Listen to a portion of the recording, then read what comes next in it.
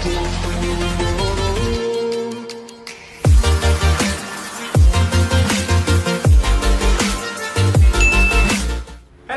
xin chào tất cả các bạn đã quay trở lại với channel của Củ Cải nha. Như vậy là chúng ta lại gặp lại nhau rồi. Trước tiên thì xin giới thiệu với tất cả các bạn Bộ sưu tập Rubik cực khủng của mình. Như các bạn đã thấy thì cái bộ sưu tập Rubik này Cái kệ Rubik này gần như là hết chỗ chứa rồi này các bạn. Chưa hết đâu Và đây là bộ sưu tập Pop It cực khủng của mình. Như vậy là mình đã có hai bộ sưu tập rồi nha các bạn. Và các bạn nhìn này, Cái bộ sưu tập Pop It này của mình cũng chất thành núi rồi các bạn ơi. Trong cái phòng của mình gần như là hết chỗ để rồi các bạn ơi. Nhưng mà chưa hết đâu các bạn ơi, Dạo gần đây thì mình lại có thêm một cái sở thích nữa. Mình đố các bạn biết đó là sở thích gì? Mình sẽ cho các bạn 5 giây để suy nghĩ và trả lời nha. Nếu như bạn nào trả lời nhanh nhất và đúng nhất Thì mình sẽ tìm và ghim cái bình luận của bạn đấy lên đầu tiên luôn nha. 5 4 3 2 1 Hết giờ! Mình sẽ bật mí luôn nhá. Cái sở thích mới đó chính là dạo gần đây mình còn sưu tập thêm cả Poozer và Hoozer nữa nha các bạn. Nếu như bạn nào chưa biết Poozer và Hoozer là gì thì mình xin giải thích luôn.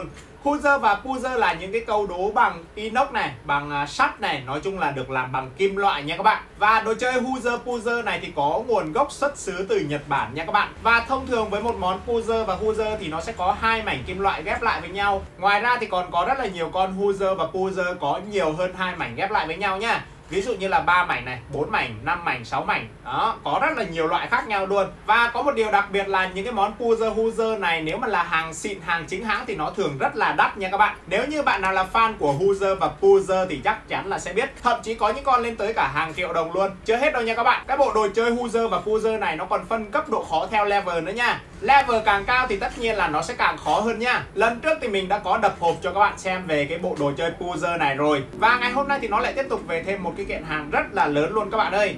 Chính vì vậy mà ngày hôm nay thì mình sẽ lại làm một clip đập hộp về cái bộ đồ chơi Hoozer Poozer này cho tất cả các bạn cùng xem nhá. Không để các bạn phải chờ lâu hơn nữa thì chúng ta hãy cùng bắt đầu cái video của ngày hôm nay thôi. Let's go! Nha các bạn ơi, đây là tất cả những kiện hàng Poozer của chúng ta ngày hôm nay này. Đây, mình sẽ cho các bạn xem từ cái bọc nhỏ nhất nha. Bọc hàng này thì mình đặt ở shop Puzer Party. Hai sản phẩm nha các bạn. Một kiện hàng nữa đến từ shop Logistics Sorting Hub. Cái shop này thì mình đặt lần thứ hai này nha các bạn. Nói chung là chất lượng cũng khá là ok. Ở đây thì sẽ có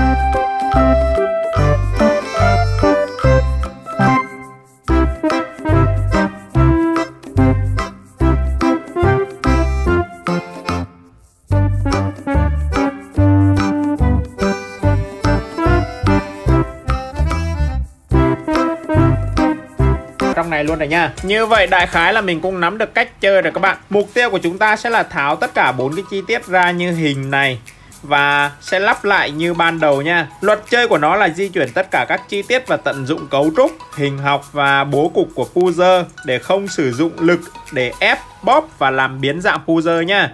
Nếu như mà làm như vậy thì con Puzer sẽ bị hư nha các bạn. Và theo như mình nghĩ cái con này có cái độ khó cũng khá là cao đây.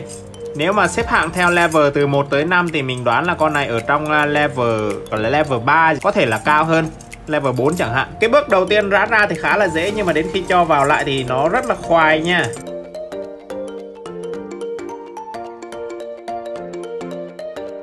Mình chịu luôn các bạn ơi, Cái con Puzer này siêu khó luôn. Mò mãi vẫn không ra được này. Bỏ nó qua một bên và chúng ta sẽ cùng đến với con Puzer tiếp theo nha. Con Puzer tiếp theo của chúng ta nha. Con này cũng thuộc dòng Hanazama Puzer nha các bạn. Nó có tên là The Sea Shape. Ok, bây giờ mình sẽ khui nó ra luôn. Con này thì mình đặt hàng với giá là 65k nha. Nhìn rất là đẹp luôn. Kiểu như màu vàng và màu bạc đan xen với nhau các bạn. Lần này mình phải cẩn thận nha các bạn. Đầu tiên thì mình sẽ nhìn thật là kỹ này hai vàng đối nhau và hai bạc đối nhau đó, các bạn nhìn thấy chưa? Con này mở ra thì dễ nhưng mà ráp vào rất là khó nha. Nếu như các bạn không chú ý cái hình dáng ban đầu của nó thì lúc làm rất là khó khăn nha. Nếu như nhà bạn nào có điều kiện thì có thể mua về để chơi thử hoặc là siêu tập cũng được. Bây giờ mình sẽ rã cái con này ra và mình sẽ thử ráp lại như vị trí ban đầu xem sao nha. Rã ra thì rất là dễ nhá rồi, nhưng mà ráp lại là cả một vấn đề luôn.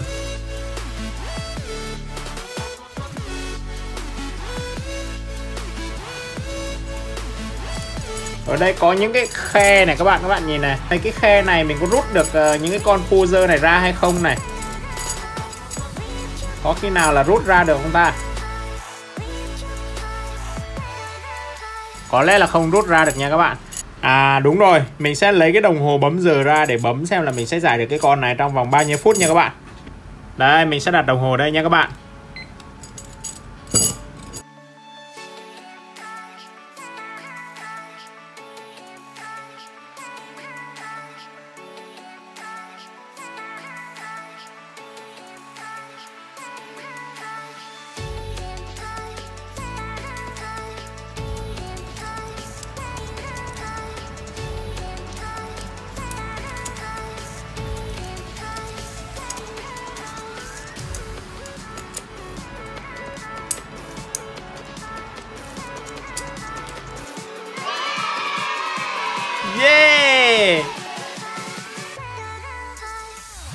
2 phút 21 giây. Và mình đã giải xong được con Hanafuzer The Sea Shape này rồi nha.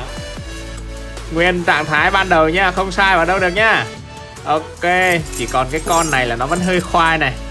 Con này mình làm mãi chưa vào luôn. Bây giờ mình sẽ thử xem là mình có giải được con này không nha, Mình sẽ bấm đồng hồ nha.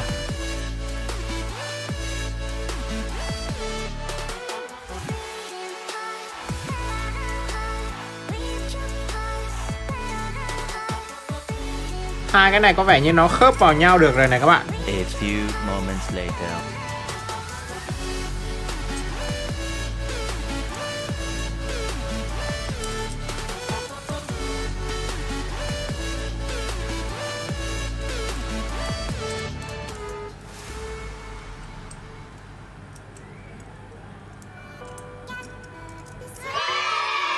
Yeah!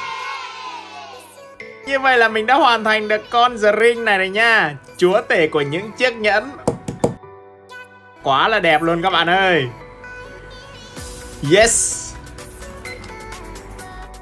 như vậy là để giải được hai con Hanazama này thì mình đã mất 8 phút 4 giây nha Bây giờ chúng ta sẽ đến với những cái con Puzer tiếp theo nhá. Một bọc rất là to nha, 6 cái. Mình sẽ khui nó ra để xem bên trong có những cái con Puzer gì nha. Hầu như tất cả những cái con Puzer này á, nó không có cái hộp đựng hay là một cái bao bì gì riêng của nó nha. Mấy cái bao này mình đoán là mua ở ngoài chợ rồi xong bọc vào thôi. Đó. Đây là con Puzer tiếp theo của chúng ta nha các bạn. Con này có tên là Sword of Love Và mình đã mua với giá là 53k Ok bây giờ mình sẽ chơi thử xem sao nhá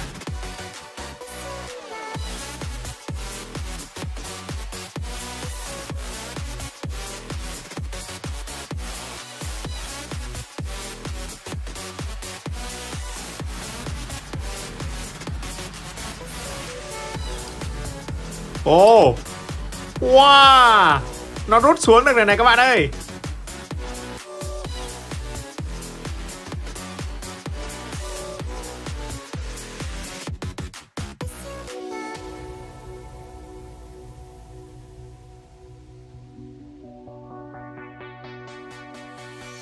A few moments later.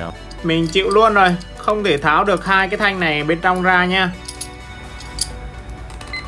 Ok, nếu như bạn nào biết chơi con này thì hãy nhớ comment ở phía dưới để hướng dẫn cho mình với nhá. Mình sẽ qua với con Puzer tiếp theo.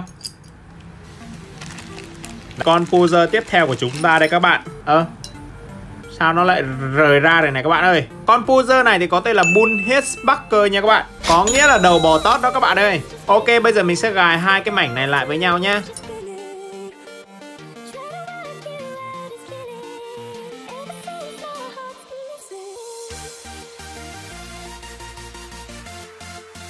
Như vậy là hai mảnh đã gài lại với nhau rồi này Rồi bây giờ mình sẽ thử tháo ra và ráp lại Và mình sẽ bấm giờ xem là nó sẽ bao nhiêu thời gian nha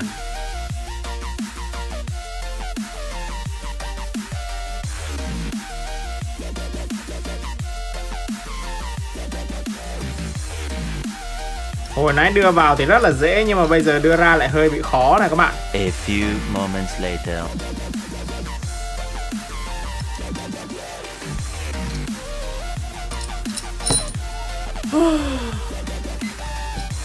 Chịu thua nha các bạn. Con này lúc cho vào thì dễ nhưng mà lấy ra thì siêu khó luôn. Ok, chúng ta sẽ đến với con puzzle tiếp theo nha. Con puzzle này thì có tên là Seiko Escape nha các bạn. Con Seiko Escape này thì có giá là 40k nha các bạn Ở đây có một cái đầu rắn này à, Nguyên một con rắn nó quấn thành một vòng tròn nha các bạn Còn bên trong là một cái giống như là ngôi sao các bạn ơi Mình sẽ thử xem nha